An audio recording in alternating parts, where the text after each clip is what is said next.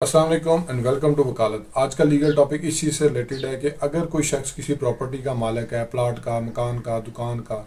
और वो जो है वो उसकी मलकियत भी है और साथ में वो उसके कब्ज़े में भी है लेकिन उसकी एब्सेंस में उसकी प्रॉपर्टी पे कब्ज़ा हो जाता है उसके प्लाट पे कब्ज़ा हो जाता है उसके घर पे कब्ज़ा हो जाता है उसकी दुकान पे कब्ज़ा हो जाता है या उसने किसी को अगर लिख पढ़ के जो है वो दी थी ये प्रॉपर्टी और वो उसको जो है वो खाली नहीं कर वो कहता जी मैंने अब इसके ऊपर कब्ज़ा कर लिया है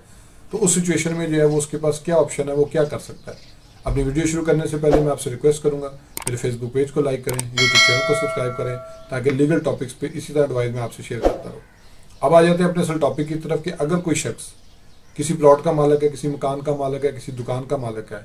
या किसी ज़रिए रकबे का मालिक है, या वो इवन किसी रिहायशी इलाके का मालिक है, जिसमें जो है वो, उसका प्रॉपर जो है वो डॉक्यूमेंट्स के मुताबिक जो है वो कब्जा मौजूद है और सस्टेन कर रहा है तो उस सिचुएशन के अंदर जो है वो अगर कोई शख्स उसकी एब्सेंस में मिसाल तौर पे वो लाहौर से बाहर गया या कराची से बाहर गया, अपने नेटिव सिटी से बाहर गया, या वो आउट ऑफ़ कंट्री रिजाइड कर रहा है, उसका प्लॉट यहाँ पे मौजूद है, उसकी एब्सेंस के अंदर कोई शख्स जो है वो उसके प्रॉपर्टी के ऊपर जो है वो कब्जा कर लेता है। और उसको पता भी नहीं लगता कि मेरी प्रॉपर्टी कब्जा हो गया तो वो अगर मिसाल तौर पर किसी सिचुएशन में आता है, बाहर से आता है या अपने शहर से वापस आता है, या उसको इतला दी जाती है कि जी आपकी प्रॉपर्टी पे कब्जा कर लिया किसी ने तो वो सूरत में जो है वो क्या कर सकता है? इसमें जो है हमारे लॉ के अंदर जो है वो एक प्रोविज़न है, एक एक्ट है हमारा, जो कि इलीगल डिस्पोजिशन एक्ट है 2005 का। उसके अंदर ये है कि अगर कोई शख्स किसी प्रॉपर्टी का मालक है और मालक के साथ साथ वो काबज है, यानी कि मालक को काबज है, और उसकी एब्सेंस के अंदर नियर पास्ट के अंदर, यानी कि कुछ अरसा गुजरे ही हुआ है कि अगर उसकी जो है वो प्रॉपर्टी पे कब्जा हो गया, और उसमें जो है वो उसके पास अपना सबूत, मलकियत मौजूद है तो वो डिस्ट्रिक्ट सेशन जज के पास ये केस फ़ाइल कर सकता है जी कि मुझे जो है वो इस कब्ज़े को जो है रिस्टोर करवाया जाए और मेरे कब्ज़े के अंदर जो है जो मुलाखलत होकर उस कब्ज़े को जो है वो मेरे से छीन लिया गया, जबकि कागज़ों के मुताबिक, सबूत मलकियत के मुताबिक मैं इस प्रॉपर्टी का मालिक भी हूँ, मैं इस प्रॉपर्टी का काबज भी हूँ तो इस सिलसिले में जो है वो मेरे कब्ज़े को जो है वो रिस्टोर करवाया जाए, क्योंकि जो शख्स मेरी प्रॉपर्टी पर कब्ज़ा करके बैठा हुआ है, वो शख्स जो है इस प्रॉपर्टी का मालिक नहीं है। तो उस सिचुएशन में कोर्ट क्या करती है जी? कोर्ट जो है वो इलाके का जो एस एच ओ है, उसको जो है वो एक रिटर्न इंटीमेशन देगी जी कि आप जो है वो इस प्रॉपर्टी की जो है वो ग्राउंड रियलिटी के बारे में हमें बताएँ। ये है कि जब पुलिस से जो है वो रिपोर्ट सबमिट की, जो है वो कहा जाएगा ऑर्डर किया जाएगा कि जी, पुलिस जो है वो इस प्रॉपर्टी से रिलेटेड जो है वो रिपोर्ट अपनी सबमिट करे। अगर तो वो रिपोर्ट आ जाती है तो ठीक है, नहीं तो उसको थोड़ा सा टाइम भी दिया जा सकता है कि वो इस रिपोर्ट को जो है वो तैयार करे। अब ये है कि इसमें जो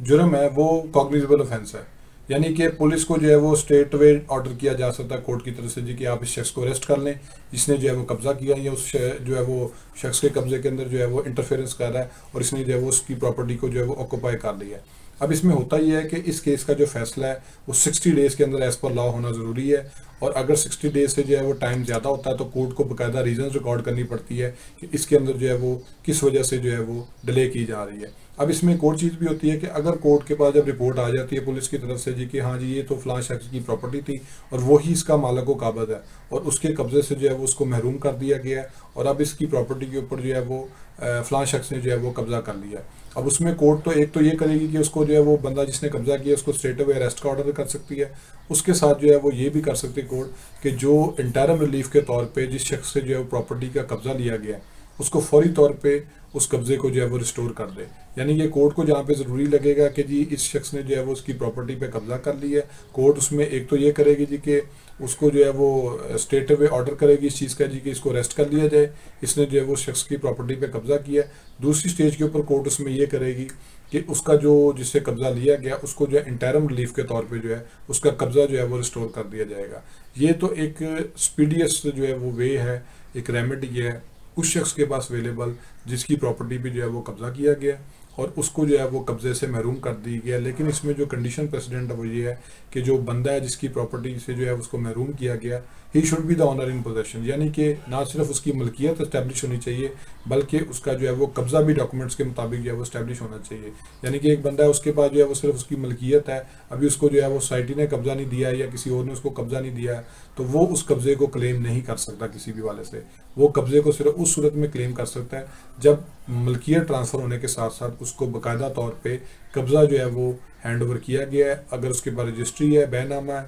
तो उसमें जो है वो लिखा गया हो कि उसकी जो है वो जो